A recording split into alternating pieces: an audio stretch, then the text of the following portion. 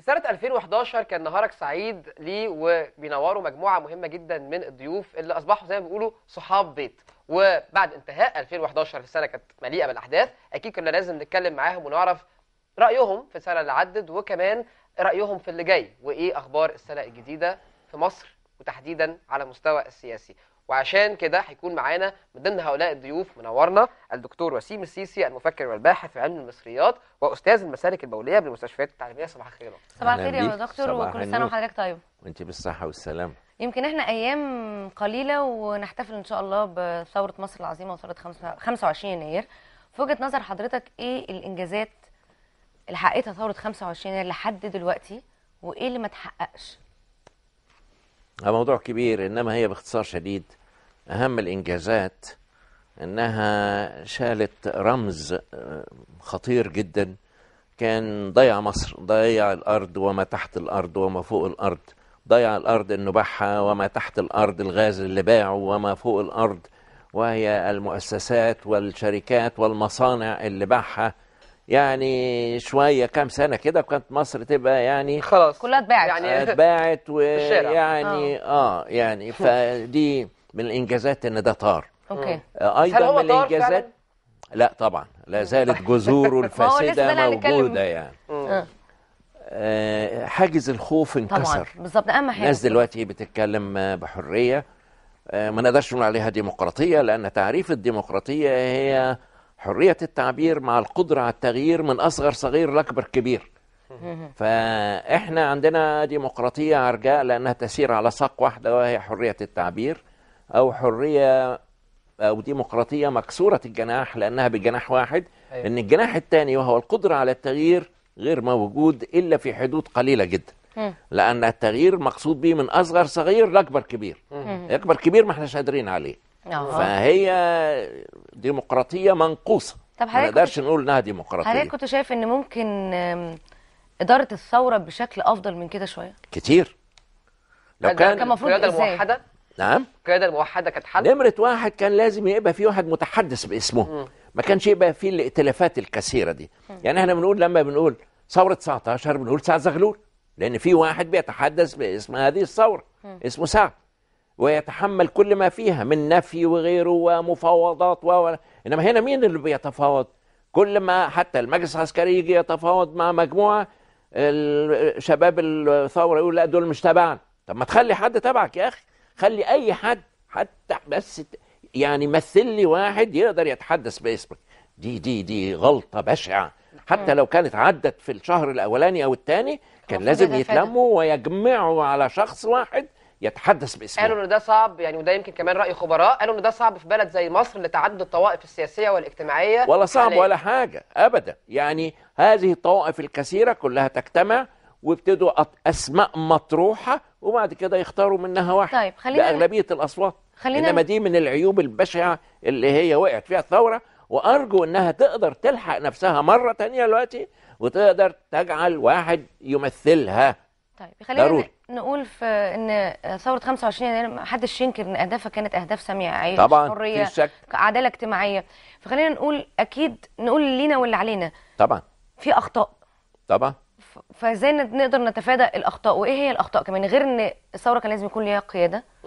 آه، إيه تاني؟ المجلس وقعوا في. الأخطاء اللي وقعوا- فيها الثوار المجلس العسكري الذي كان مسؤول اللي واخد دور رئيس الجمهورية واخد دور البرلمان. هذا الم- المجلس العسكري لم يقم بدوره كما كنا نتوقع. نمرة واحد الدستور. مبنى زي ده اللي إحنا فيه دلوقتي. هل يمكن إقامته بدون رسم هندسي؟ يجي كده البنايين كل واحد شايل لي قصعة وطالع بيها.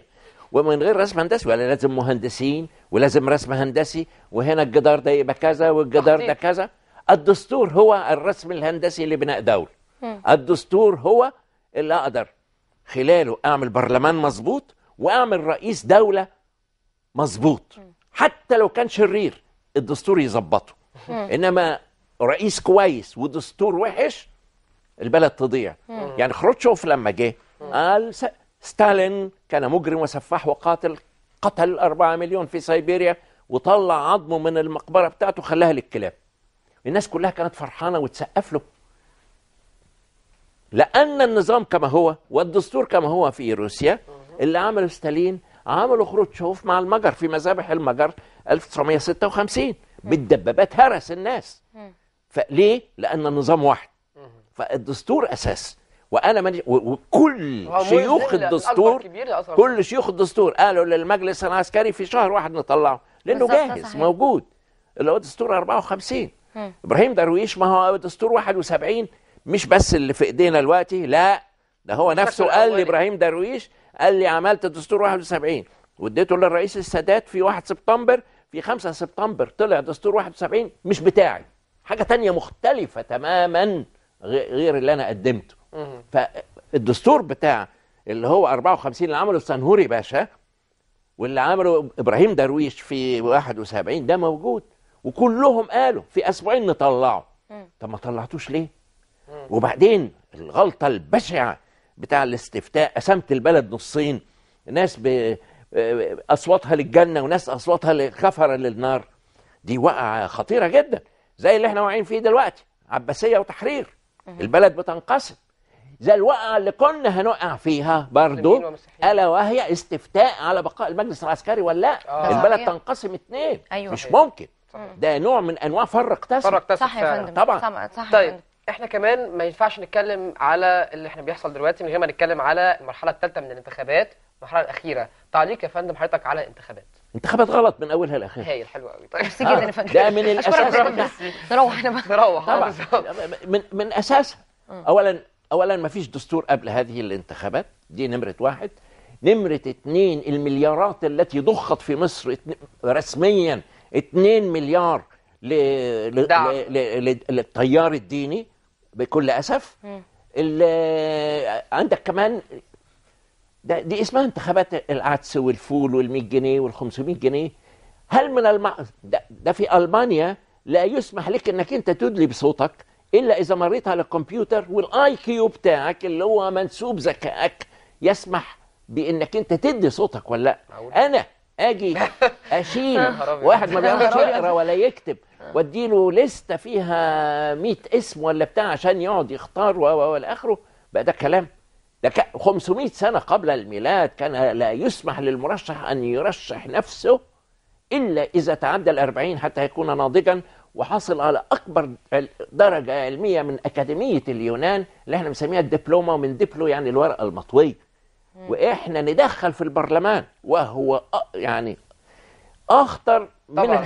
طبعاً. لأنه تشريعي. طبعا. أدخل. فيه ناس ما بتعرفش تقرأ ولا تكتب وبعد كده أقول 50% عمال وفلاحين. آه 50% عمال وفلاحين. 100% عمال وفلاحين. على شرط أن يكونوا من حاملي ليسانس والبكالوريوس ويكونوا من أحسن. إزاي أدخل واحد في البرلمان يناقش ميزانية ويناقش آه، مجلس عسكري ويناقش ويناقش وهو ما هوش فاهم أي حاجة. إنما ده يحقق ما قاله تشرشل قبل كده. قيادة قطيع أسهل من قيادة غنمه واحدة شاردة. أنا عاوز ناس يعني زي ما حصل مرة قبل كده في البرلمان السابق آه، رئيس المجلس بيقول لهم اجتماعنا القادم هيكون يوم الأربعاء الموافق لسه هيكمل. قالوا له موافقين يا ريس. ده مش ممكن لأن مش فاهم هو سمع كلمة موافق يبقى موافق وغير كده يا. فندم إحنا كنا سمعنا قبل الانتخابات على. طول عن بعض القرارات كده اللي نزلت إن مفيش أحزاب هتتم على أسس دينية. آه. وبعد كده والدعاية تبقى جنيه بالظبط. كلها قائمة على على أساس ديني المفروض إنها تسقط على الناحيتين عشان. بس نكون آه، حادين لا، على طبعاً. الناحيتين. طبعا. بس الفكرة نفسها إن إحنا لقينا ال ال الانتخابات قلبت حرب دينية. طبعا يعني طبعا. دي آه، مأساة كبيرة. آه دي مأساة كبيرة. طبعا ان. بلد يعني ت- ت- ت- تتفسخ يعني دينيا انتهت لأن كل أمة منقسمة على ذاتها تخرب طيب خلينا نتفق آه آه. بالظبط آه، اتفضل لا. لا لا. خلينا نقول فعلا خلاص يعني الانتخابات يمكن نتيجتها بانت وصعود التيار الديني وفوزه بأغلبية ساحقة يمكن هيمثل 60% أي. من البرلمان اللي جاي. في تخوفات كتيرة جدا يعني من العلمانيين مع إن أنا فكرة إن أنا أقسم المصريين علمانيين واقباط. وإحنا كلنا مصريين بس الفكرة إن في بعض المخاوف عند الليبراليين وعند العلمانيين وعند الأقباط من صعود التيار الإسلامي. رأي حضرتك إيه؟ أنا رأيي إن مفيش مخاوف. ما تخوف في إيه؟ أصل الكلام اللي بره السلطة غير الكلام اللي داخل السلطة. وبعدين يعني حتى اللي بيصرح بهذا الكلام ينطبق عليهم لا تصدق الفتية العابسين أسود الكلام نعام الواغ. إحنا لما نشوف في قلب الوغى أو في قلب الحرب هيعملوا إيه؟ هي دي. إنما هل- سيبك من شقشقة الكلام دي كلها هعمل وأعمل وأعمل. مم. طب تعالى أعمل وأنا أوري لك. التحرير هيعمل فيك إيه؟ يعني صحيح. كده. هل تعتقد يا فندم إن شكل الدولة المصرية هيتغير مع إصرار التيار الديني على لا لا لا تشكيل يمكن. الدستور؟ لا يمكن. شوف إحنا مر علينا 2500 سنة احتلال. ناس من أسوأ ما يمكن. يكفي الاحتلال. العثماني التركي العثماني 400 سنة.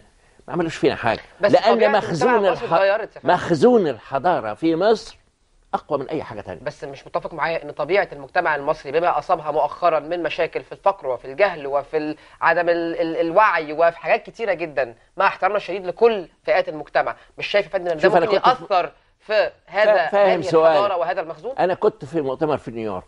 واحدة عالمة في الحضارات القديمة في الأركيولوجي اسمها دكتور جروس.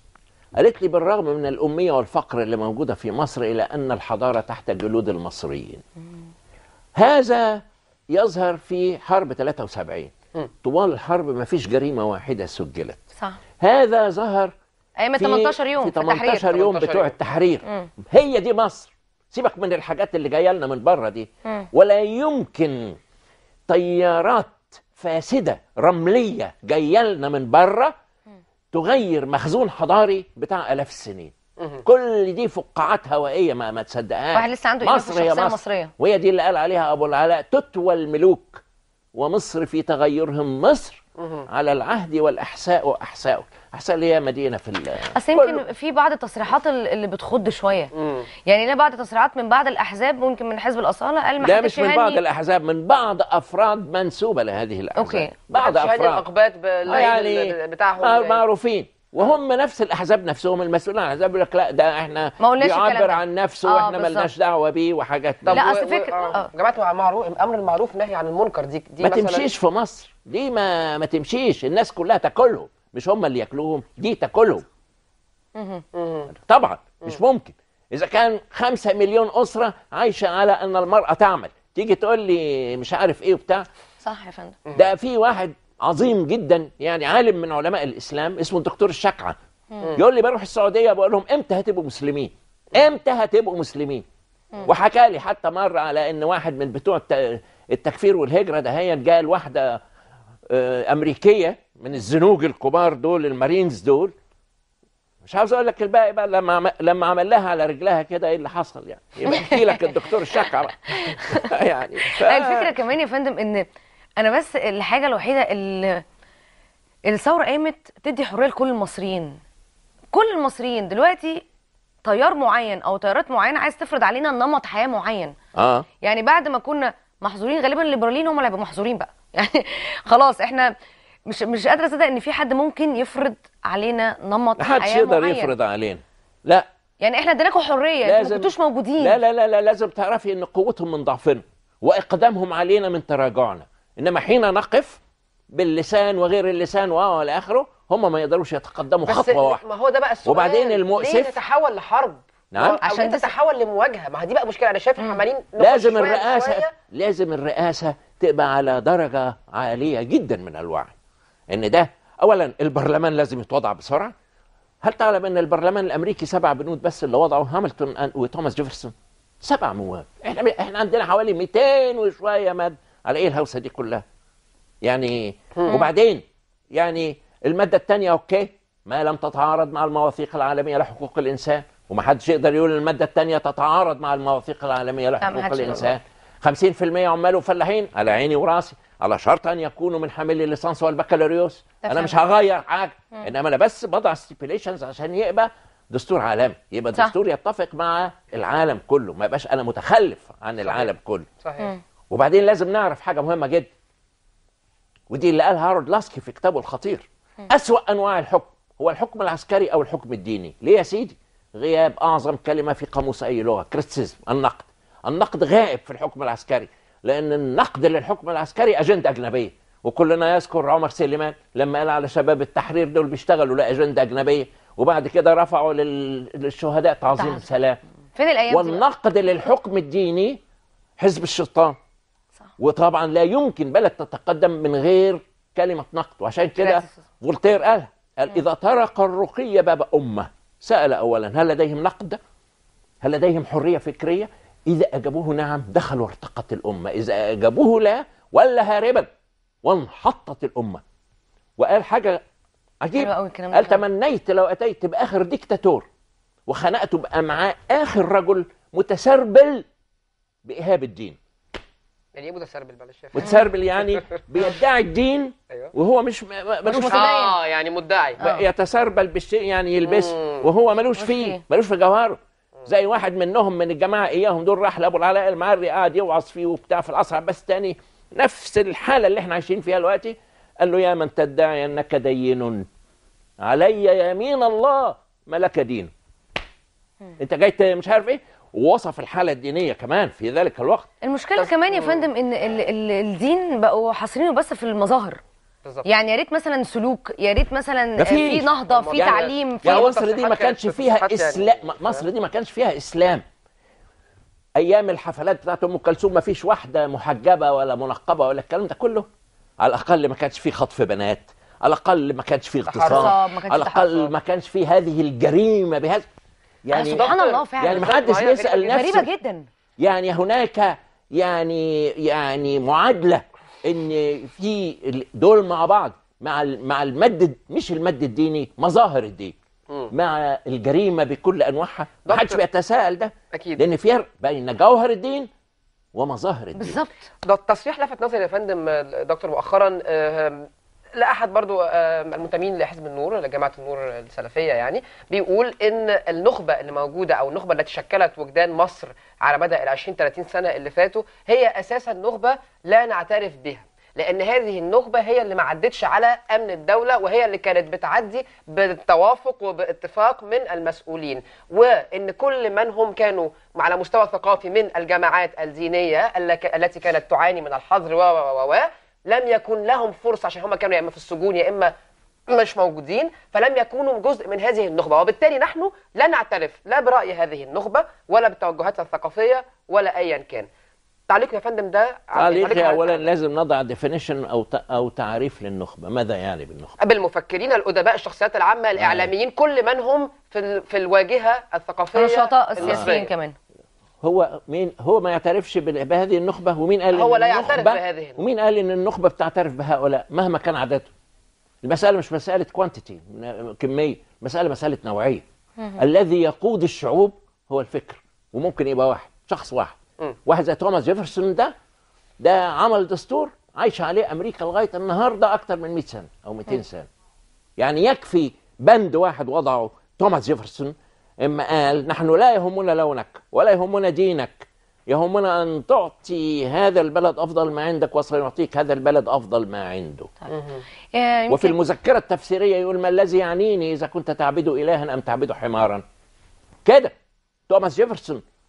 والبلد ماشية. وعشان كده رغم إن أنا يعني ضد سياستها الخارجية إلا إنهم من نظام الحكم الداخلي قدروا يحطوا علمهم على سطح القمر. لأن هناك سيادة قانون. مهم قوي سيادة القانون اللي هي مش موجودة عندنا خالص. فين سيادة سيادة القانون؟ القانون. ندور عليه طيب. صحيح، يمكن. إحنا آه خلاص آه أيام قليلة ونحتفل بثورة 25 يناير. متوقع إيه حضرتك اليوم ده آه هيكون عامل إزاي؟ أنا أتوقع ما لم يكن. المجلس العسكري وحكومة الدكتور الجنزوري يتمتعان بحكمة شديدة جدا جدا. هذا اليوم لن يمر بسلام. حضرتك شايف إن في أمارات أو يعني شواهد لأن في حكمة في التعامل أو لا؟ أنا أرجو هذا. يعني أنا في فرق بين شايف وفرق بين أتمنى. أنا أتمنى أن تكون هذه الحكمة وأن ما يكون أنه ما يكونش فيه مواجهات ولا كونفرونتيشن لأنها هتبقى حاجة دموية وحاجة فظيعة جدا. لأن مصر كلها في ذلك اليوم هتحتفل. وأي عنف مضاد للناس في ذلك اليوم سينقلب وتأتي نتائجه سيئة جدا فأرجو أن يمر هذا اليوم بسلام طيب وعلى المستوى السياسي على مستوى الخطة المرحلية الجاية بالنسبة آه. للحكومة وبالنسبة للكلام ده كله سيبك بقى من المواجهة إحنا هنتكلم دلوقتي على الخطط. حاجتين يجب إن إحنا نسعى لتحقيقهم نمرة واحد دستور جيد كويس للطوائف كلها يرضي الكل من الأول للآخر مع المواثيق العالمية آه، لحقوق الإنسان. وحاجة تانية وإحنا بدأنا فيها ودي كويسة جدا سيادة القانون. يعني تحية لوزير الداخلية الحالي لأول مرة الناس تبتدي تحس أن هناك أمان وأمن في الداخل. وطبعا ده أساس ومهم قوي جونار ميردال الراجل المفكر العظيم لما حب في نص سطر يشوف سبب تعاسة وبؤس وشقاء وتخلف وفقر الدول دي كلها المتخلفة الفقيرة البائسة طلع في كلمة واحدة قال إنها دولة رخوة. قالوا له يعني إيه؟ قال له ما فيهاش سيادة قانون. ويكفي أن تعرف أن نحن عندنا 3 مليون قضية فيها حكم نهائي الدولة بينفذوا عاجزة عن. تنفيذ هذا الحكم. من ضمنها ده من أيام مصيرية زي البورصة. يعني دلوقتي حاليا إحنا فاكر نفس الكلام دلوقتي. يعني في قضية في البورصة لشركه اسمها أجواء تمام؟ بقى لنا دلوقتي داخلين على سنة كل يومين ثلاثة المستثمرين يا حرام اللي راحت فلوسهم آه. عندهم حكم قضائي ومش عارفين ينفذوا مش. قادرين ينفذوا بالظبط. آه ودي طبعا. إحنا بنتكلم في بورصة في اقتصاد. سيادة القانون. اللي يعرف سيادة القانون فين والنبي يقول لنا. إن إحنا بندور عليه. بالظبط كده. دكتور آه، وسيم يعني- بنشكر حضرتك جدا على وجودك معانا و... ميرسي خالص. والكلام معاك ما بيخلصش بصراحة آه، يعني. جدا. ويا ريت نتقابل بقى إن شاء الله بعد 25 يناير. إن شاء الله. الجديد. إن شاء الله. نرجو نتكلم هذا ونهني بعض على. الأيام الجميلة ده عايزة بس. حضرتك رسالة توجهها لشباب مصر بس وشكرا. لشباب مصر. أقول لهم أنتوا the last hope of Egypt آخر أمل لينا في مصر هم أنتم. اعملوا لنفسكم رئاسة موحدة. إحنا ما بنقول ثورة 19 بنقول سعد زغلول. أنا أقول ثورة 25 يناير أقول مين؟ شوفوا لكم حد يتكلم باسمكم. وتذكروا كلام أحمد شوقي إلى ما الخلف بينكم إلى ما وهذه الضجة الكبرى علامه وفيما يكيد بعضكم لبعض وتبدون العداوة والخصام فلا على حال مصر استقرت ولا السودان دام فما تضيعوناش خلوا واحد بس يتحدث باسمكم والأمل فيكم كبير. شكرا يا فندم جدا بنشكرك فعلا. شكرا. مفيش كلام بعد كده. خلاص. نروح. نروح. صباح الخير.